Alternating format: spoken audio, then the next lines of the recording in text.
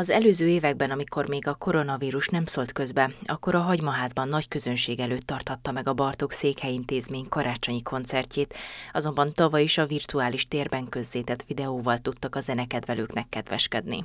Idén a tankerületi igazgató döntése alapján a védelmi intézkedéseket betartva rendhagyó módon szintén online keretek között kerítenek sort erre az eseményre. Online streameléssel a Makói Városi Televízió segítségével fogjuk megvalósítani. Úgy gondolom, hogy a jelenlegi járványügyi helyzetben talán ez lenne az egyik legmegfontoltabb döntés, hogy a szülőket és a gyerekeket is ilyen formán tudjuk védeni. Mindemellett nagyon fontosnak tartom, hogy az iskolában zajló magas szintű szakmai munka, ami egyébként töretlenül zajlik és folyik a kollégák, kollégáim által.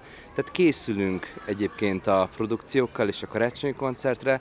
Több mint 14 előadó csoport fog részt venni ezen az ünnepségen. Közel száz gyermek mutatkozik be műsorával a Hagymaházban. Többek között karácsonyi klasszikus művek csendülnek fel az ünnepekre hangolódva. Rónai Dániel intézményegységvezető kitért az érdeklődők számára, hogy mikor és hol tudják majd követni az élő közvetítést. December 16-án 17 órakor a Makói Városi TV és a Bartók Iskola Makó Facebook oldalán tudják követni élőben az eseményeket. Azok, akik szeretnék segíteni az Istók Margit Alapítvány munkáját, amely az oktatási intézményben művészetet tanuló tehetséges gyermekekért tevékenykedik, azok támogatói jegyek megvásárlásával megtehetik.